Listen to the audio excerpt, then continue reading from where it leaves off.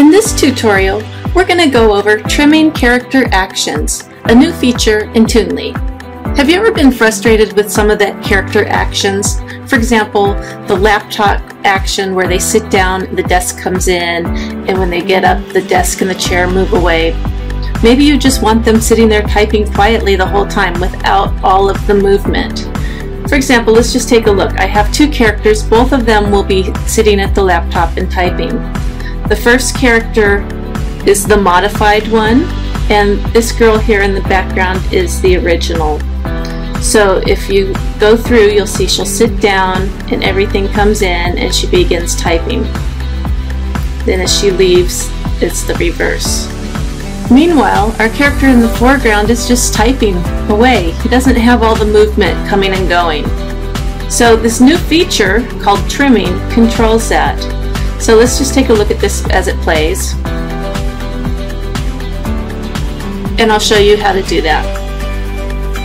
So we start by adding a new scene. And we grab a character.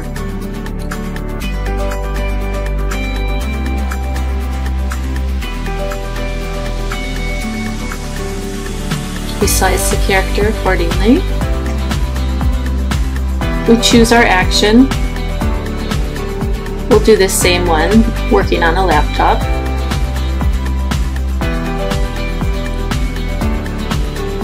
Okay, so here she is. We'll put her where I had the guy originally.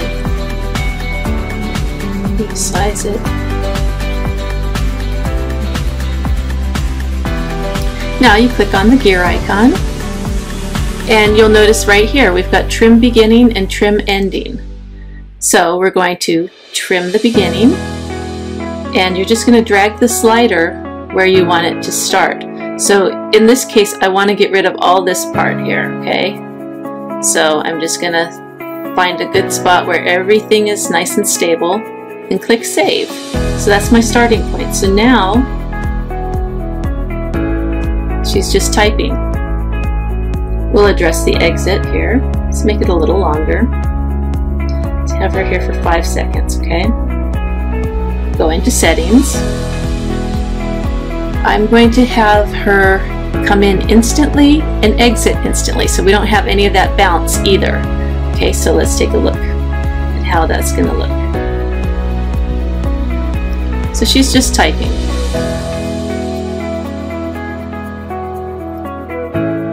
You'll notice she stood up. Remember, we didn't want that. So now we're going to go ahead and click on her or click on the bar in the timeline. And now we're going to choose trim ending. We're going to do the same thing. We don't want this part. So we're just going to end it right about there and click save.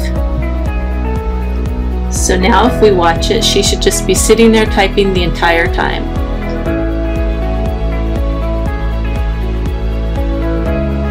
And that's it.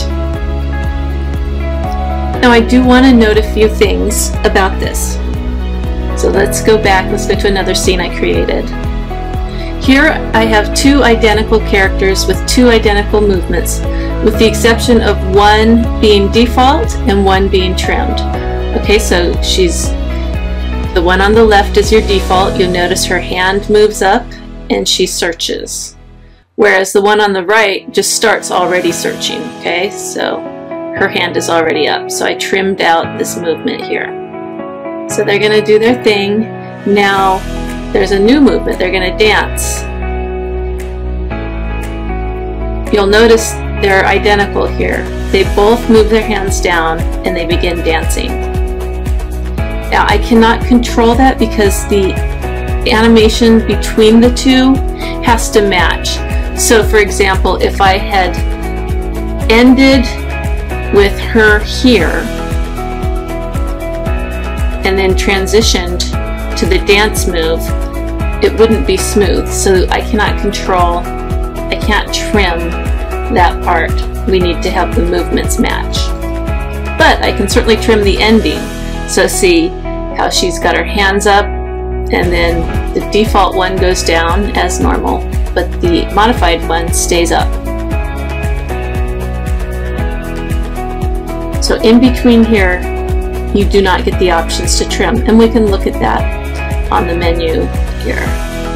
Notice how I can trim the beginning, but there's no trim ending button here.